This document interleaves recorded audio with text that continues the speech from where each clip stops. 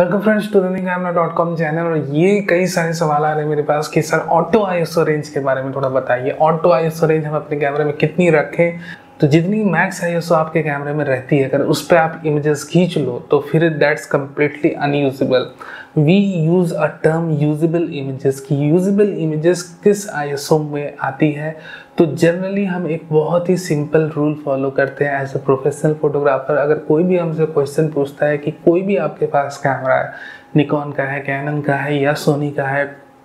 तो कोई भी क्वेश्चन पूछे तो एक सिंपल सा आंसर है टू कीप योर आईएसओ जब आप अपने ऑटो आईएसओ की सेटिंग कर रहे हो तो आपकी जो स्टैंडर्ड आईएसओ रेंज की मैक्स लिमिट है, ये चीज़ आप ध्यान से सुनो what I am telling to you right now that कि आपकी स्टैंडर्ड आईएसओ रेंज की जो मैक्स लिमिट है, उससे दो स्टॉप्स डाउन जो रेंज आपको मिलती है, उस पर ऑटो आईएसओ को आपको फिक्स कर देना, उसकी मैक्स लिमिट पे फिक्स कर देना है। For example, let me tell you that if you have a standard ISO range of your camera up to 51200,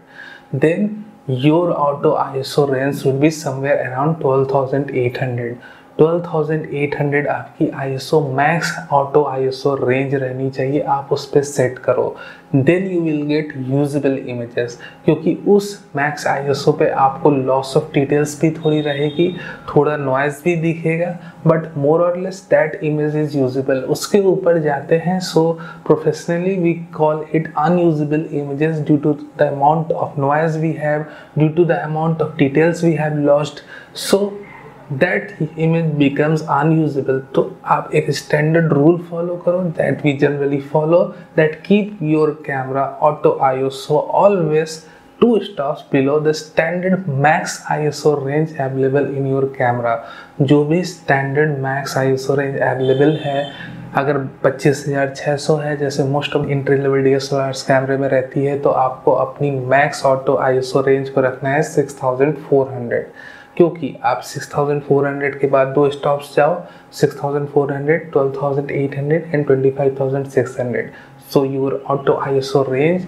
max limit should be 6400 is so इसी तरह से अगर आप सोनी की कॉम्पैक्ट्स यूज़ कर रहे हो आर एक्स हंड्रेड सीरीज़ की कॉम्पैक्ट यूज़ कर रहे हो या फिर आप निकॉन या कैनन का डी यूज़ कर रहे हो कोई मिररलेस कैमरा यूज़ कर रहे हो always keep your auto ISO range